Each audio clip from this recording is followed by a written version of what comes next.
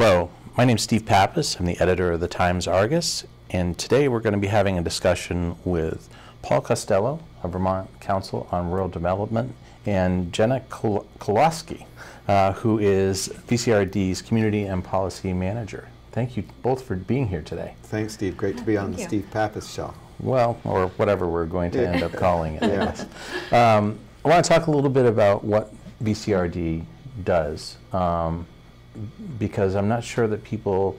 Um, it, it sounds kind of eclectic a little bit Yeah. um, and vague, but you actually play a pretty significant role and have since '92.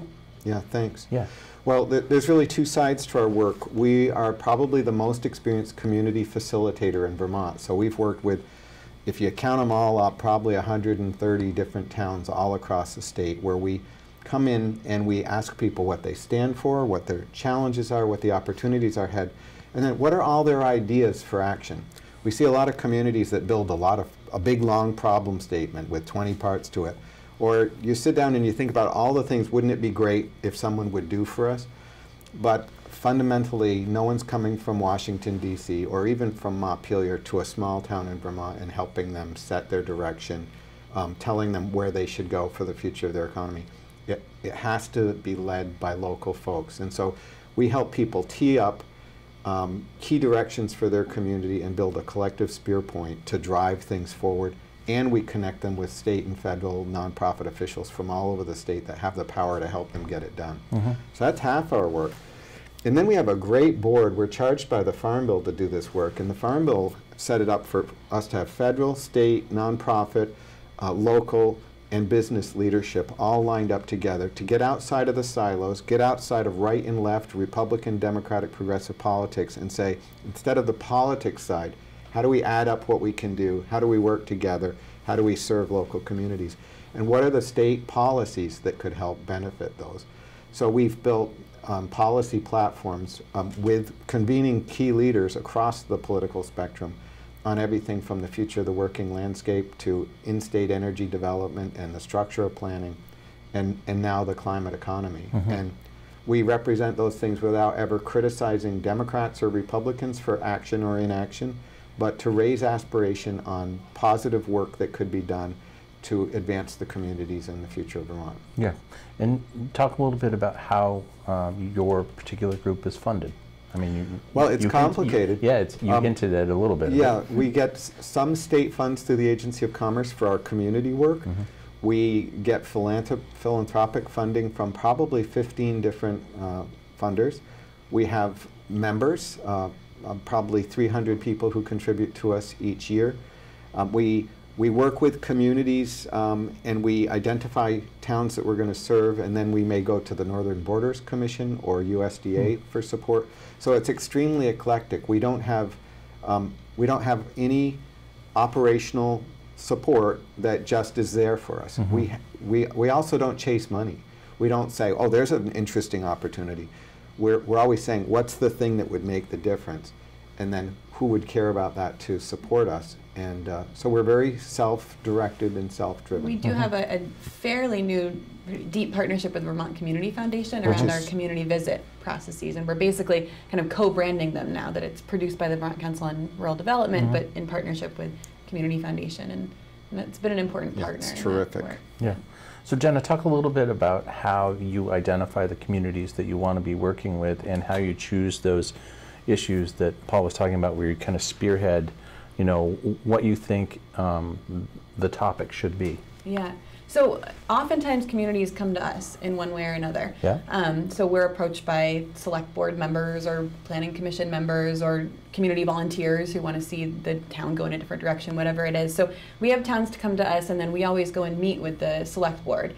Um, it's important to us to connect with local leadership. Um, and we go and meet with them and we share the process and and we kind of say, you know, we're not out there selling the, the process to communities. We just say, you know, here's what we can offer, and, and we do offer the process free of charge to communities. Um, often, once we've met this with the select board, they're interested in it, and uh, we ask for a letter of invitation from a town. And, and we've got a fairly long waiting list these days of communities that are interested in having this deep community conversation. Um, we have a, an advisory committee that helps to advise our board on uh, the communities that we should set as priorities. Um, we have representation from the Preservation Trust, from the Agency of Commerce and Community Development, the Community Foundation, um, and USDA Rural Development. I mentioned that? Anyhow, so we, we have this uh, group of partners who, who know rural communities well and can kind of help to advise us, and then we uh, they make recommendations to our board, who makes the final decisions around where we work. Um, and in terms of how we kind of set priorities, um, it's not up to us at all. Uh, we don't know what communities should be working on. Um, So it, it, we we kind of take this several month long process that Paul kind of described, the community visit, um, in, a, in a town where we start with a, a brainstorming. So we were up in Greensboro last night, and we had probably 150 people at various different times throughout the day um, on forums, uh, the topics that are important to the community. We brainstorm ideas. And then the next meeting, so in August, we'll go back to Greensboro. We'll put the ideas up on the wall, and that's where the community gets to decide. You know, here's what's most important. Um, so we just provide that kind of neutral platform, and the, it's up to the community to decide. You know, what's actionable today and, and what's important to us. Yeah. And, So, and what will have the most transformative effect for the future of their economy to attract youth, you know, all the fundamental challenges that they're all that many rural communities are facing. What's going to build momentum and uh, unite them in, in collective action for the future? so why is there such a waiting list? Why, why do Vermont communities feel like there are, you know, there are so many challenges that they need help to kind of draw them in a direction toward progress? And how is it that your, your organization kind of teases that out? I mean, there's some, clearly there are some serious challenges in this state. Well, I think we all sh- share that that reality, and I think that at the local level, people, you know, you, you look at the national dialogue that we're in right now, and the the, the division that we hear about all the time. Um, in local communities, um, people want to do their part. There's this deep tradition of neighborliness. Um, and I think that towns know that if they're not making momentum right now and they're losing s- students in their school or they don't have a vision for their economic future, then they may be flat. And if they're flat, they feel like they're sinking. And everyone kind of feels that. Mm-hmm. And they, they want to b- build momentum and they want to set strong direction. And they also want to engage the whole community. So, you know, select boards, when they invite us in, in a way they're giving up a little bit. They're saying, yeah, the whole community is going to be involved in setting direction. There's going to be some task forces and a lot of energy of, of people driving things forward. And we kind of need that right now. Um, so we, we're not interested in imposing this stuff anywhere. We go where we're invited. But we, we don't really see towns that are disappointed. We see towns that are super excited where they may you know, triple the number of community volunteers and they have a strategic direction. When you have that direction, you build an atmosphere of progress. Mm-hmm. People know that you're on a, on a direction and it changes your brand and internally. It sort of says we're a community on the move, mm-hmm. and that alone is invaluable. But what we're seeing is that towns will identify things like we need a local sewer system here, or we need to build a daycare center. And because we bring in these teams of leaders, they connect to resources and, and they become the squeaky wheel that gets the grease. They're ready, they know where they're going, and so they begin to get grants, they get technical support from all the state, regional resources, and they, they're starting to implement stuff. And, mm-hmm. and so we see this pattern that, that it's sort of a fundamental jumpstart to local community development. So you're actually just helping them to connect dots that are probably already there and they just need more clarity in identifying. Yeah, Yeah. If, if you have a sense of direction, a lot of other things follow, all Right. those connections and resources. But if you don't, the, your regional development corporation or the state agencies don't know what to do to help you. Right, Um, you're not asking for help because you don't know where you're going. right. Are towns generally um, intimidated by the fact that there's not a lot of help coming out of Montpelier and from the federal government? Are they able to to kind of transcend the enthusiasm they're they're generating in their community and kind of lift themselves up and move themselves forward without relying on those resources or lack of resources? I don't think they're intimidated by it, but I think that, that sometimes they don't know how to ask, or they, they don't know where Or they're where to going, so that, so they Mhm. don't they don't try to. But Mhm. once once they do have this sense of direction, um, and the help that we we bring to help them connect to folks. Um, Well, and it's a they're matter of the energy too, like the Right. energy of the people locally that want to kind of take this idea and, and run, Run with with it. it, And yeah. Sometimes it takes, uh, you know, we see coming out of this process, um, new leaders who kind of haven't seen themselves in that role before. Like, you know, what business do I have working on broadband in my community or something like Mm. that? But, but at the end of the process, we have these task forces forming, and we ask them to, to chair and to lead. And now they're stepping into this new leadership role, and other people are grateful to see new leaders step up, and um, and they feel empowered to to work on the issue. And, and often they're the right person to do Yeah, it. the, the cool So- flip side is oftentimes, you know, your, s- what's the state and federal people that we bring to these small towns, they love to come. You know, Senator Leahy's folks, Sanders, Welch's, they, they're all with us. Um, agency folks, they all come when they're asked. And we bring this supercharged leadership team. And for them, it's like, these are dedicated people. They wouldn't be doing these jobs except that they really do care very deeply about the fate of our communities. They want to serve. And this is like a deep window for them. So, in a hmm. way, it, for some people, we have people leave saying, you know, this was the best day of my month. Mm-hmm. And, and they're all looking for ways that they can help afterwards. Hmm. And so it's just a, it's, it's really celebratory. It's like having a conference just about your community, but a conference that leads to an action plan that you get to lead, and you've got con- connections of people who are going to help you get it done. So Yeah. it, it's it's really Inspiring. it it's inspiring, you know, and the, the we we love it. Like I think we have the most interesting jobs in Vermont. It's very patriotic in a funny way, you know. Mm. People use that word all kinds of ways, but it, it's really patriotic for place. It's like saying, "Yeah, I stand for my town. Yeah, I stand with my neighbors. Yeah, we're going to get things done," and it it builds unity in a time where we're politically challenged, but we still have so much that binds us together. And mm-hmm. so it's tremendously uplifting. And we come out of these things, you know, you fall in love with every town you go to, and mm-hmm. you come to care so much about their progress. And, and I think that's true of our whole team. Mm. Um, Jenna, just walk us through a couple of, of communities where the things that have been thrown out there have come to fruition and really turned those communities around. Yeah, sure. Well, at some recent communities um, we've been working with, and, and it's interesting to see the results coming out of these um, processes. It kind of it can be a whole range of different types of things that they're working on. So Paul mentioned that more kind of infrastructure issue. So we we worked with Burke recently, um, where you know in Burke you have this dynamic where you have three different villages, and you have East Burke where the mountain biking has just has gone crazy, and thousands and thousands of people are coming to the town. Um, but there's some work to do to kind of catch up with some of that growth that they've experienced there. And on the other hand, you have West Burke, which is a really different type of village center, and there's some buildings that are kind of run down, and um, and they're not as connected to that kind of mountain biking culture that's going on in East Burke. And then you have Burke Hollow in the middle, and so we worked up there, and they called their process One Burke, and they really wanted this to be about connecting across those village centers, and um, and I think that the priorities they chose really reflected that. Uh, so one priority was around that infrastructure. They said, you know, if we want to do any redevelopment in West Burke, we've got to work on the water and sewer issues in the in the town. It wasn't exciting or sexy really that issue, but it was important, and they they prioritized that and and have been able to connect with USDA Rural Development, Northern Borders Regional Commission. They brought in like half a million dollars in federal funding to start to work towards that water and sewer project. Um, and they had a community leader who didn't know anything about water and sewer, but she learned and she's been leading and, and connecting with the select board. Um, but on the other hand, they really want to work on addressing those traffic and safety issues over in the East Burke village and also connecting across. So they have a priority and they're working on now building a, a path, mountain bike trails, and maybe even along the road that can connect across those villages. And at the same time, they're working on their school building, which is in the center and kind of connects across the community. So it can be kind of along that spectrum of like community events and activities, but also that kind of hard infrastructure that needs to happen for them to take development to the next level.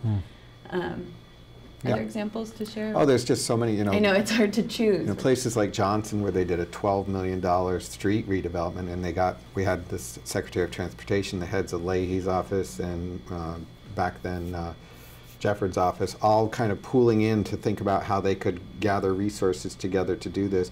The bridges at the opening of the village it went from being in the middle of the transportation priority list because the secretary watched those bridges kind of collapsing into the river all day.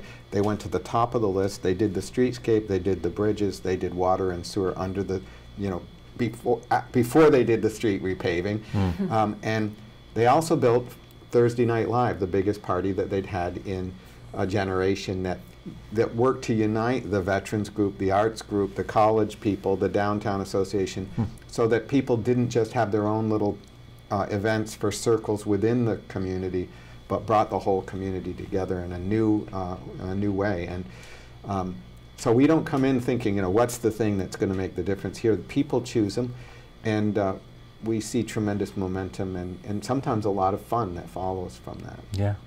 So you actually have a, kind of a, another role too, which is that you bring some of the state's leaders together, state's thinkers together to to take on different issues. And you've had different conferences in the pa Mhm. past or summits in the past, Mhm. um, and um, those have been. I've attended a couple of those, and they've been. The, the sessions are really kind of intensive and thoughtful and and facilitated conversations, and you've got one coming up. Right. So let's talk a little bit about that. Right. So this is the second Community Leadership Summit for Vermont. Um, last year we had 500 people with us at Castleton. Um, people who are maybe veteran leaders, but a lot of them were new leaders, Mm. young people. We give scholarships for young people and people who need uh, assistance to be able to come. Um, and people from all over Vermont. We in, we allowed select board members to, uh, in every town in Vermont, to nominate someone who is an emerging leader in their community to come for free. Mm.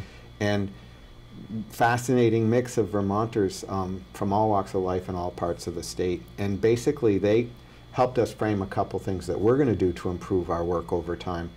Um, but we all we also want to um, strengthen the, the leadership programs and leadership services and support for folks. You know, our theory, a changer on this, we, we see what happens in local communities. We see communities that are sort of flat. And we see people who step up to um, help lead different projects. And they're not always the officials. They may be someone who says, you know, what we really need to do is start a daycare center here in town. And, Mm. and let's gather a group of people to do that. But sometimes these folks have never run a meeting before. Mhm. They, they've never built an agenda. They may never have written a budget. And they may not be going off to a four-year leadership program at co- a college or something like that. They need someone to say, wow, what you're doing is awesome. You guys are terrific. You guys have the skill sets you need. You need a little help developing the framework for a budget. We, we can help you with that.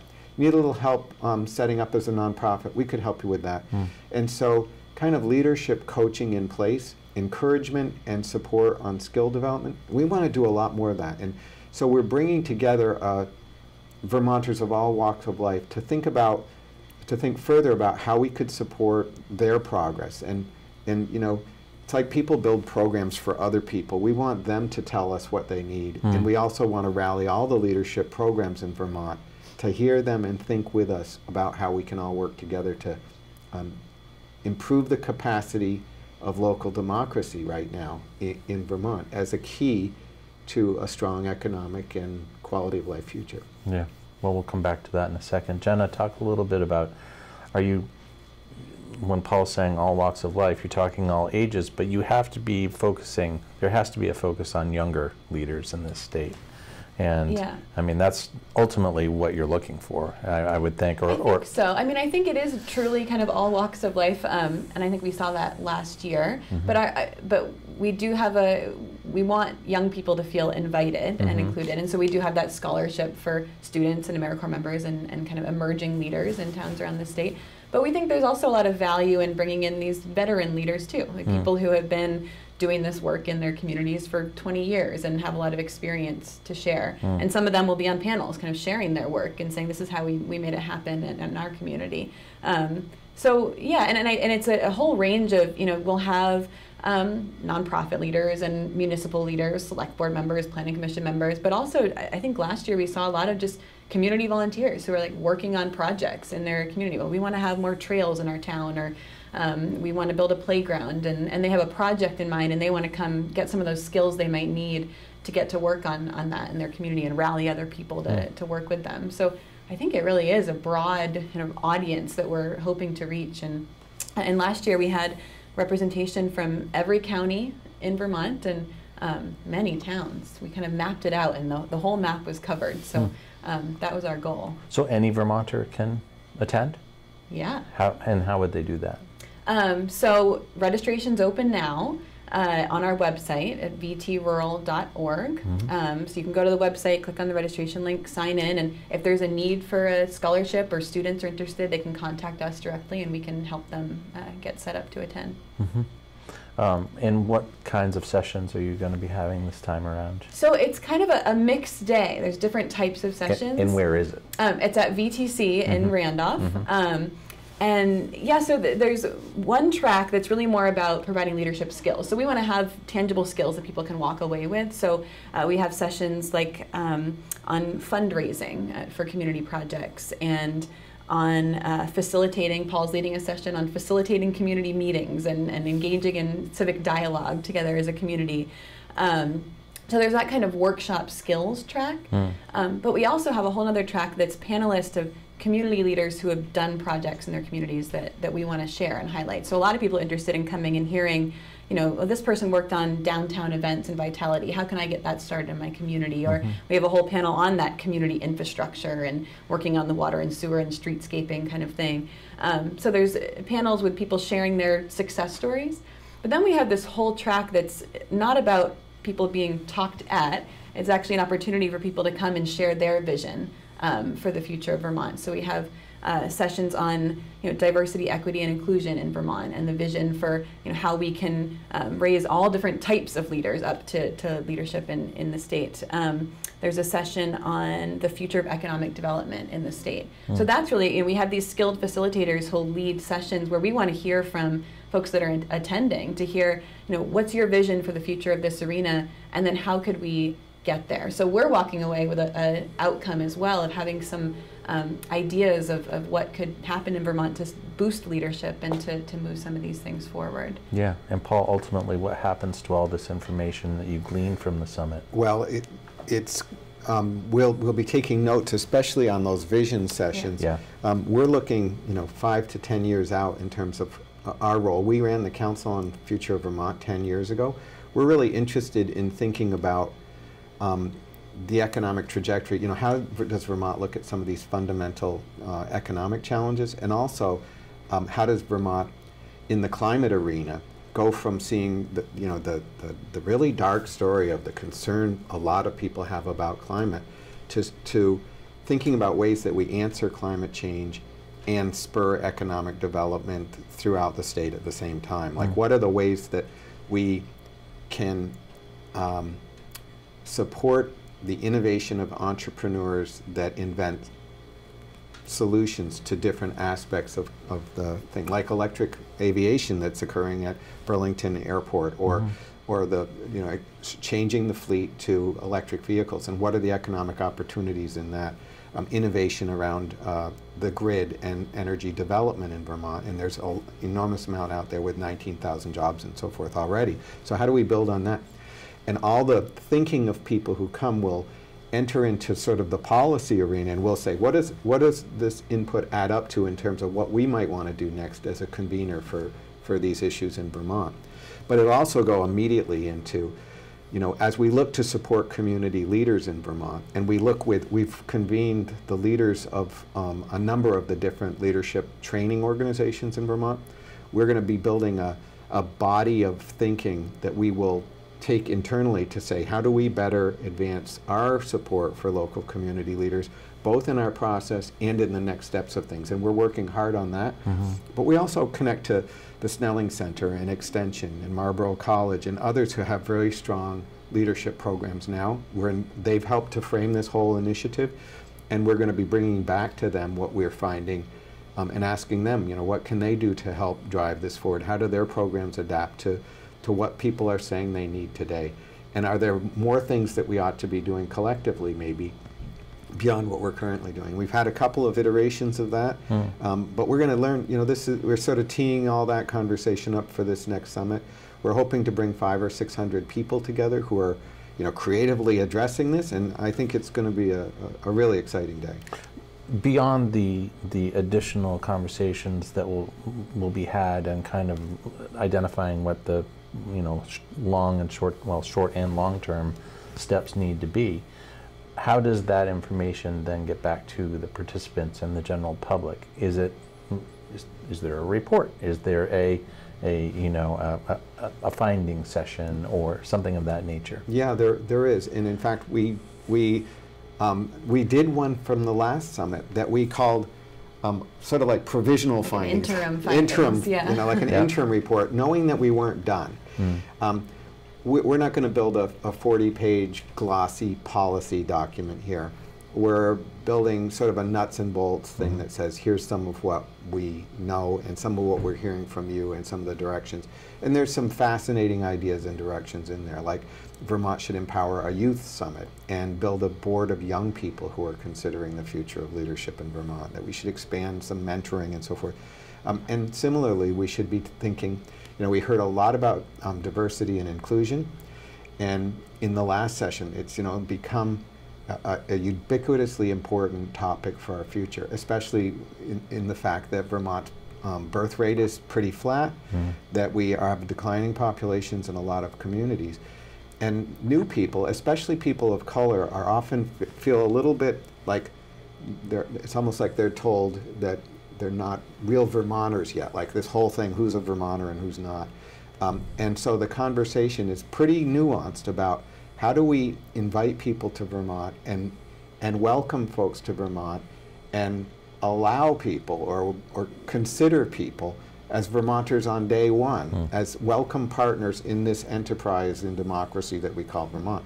And and how do we outreach to people who may not fit the traditional profile of, of the sixth generation farm family loving those farm family people of Mhm. course you know that that character of the place is, is really important but also recognizing that we have an opportunity for for renewal and economic progress so that kind of conversation wasn't something that we invented or we you know Right. deliberately built, but it's so much in the air, it became a, a central theme of the last discussions. Yeah. Well, I know that the conversations are big conversations, and the work that you're doing is really important and really important for the state, not just for identifying the issues, but helping move us forward. And I know that the communities you work with have appreciated that, and I know that certainly from somebody who monitors policy, I appreciate that, and Mm. I think the media in general, and I'm sure folks at the State House appreciate that too. So 28 minutes goes by fast, doesn't it?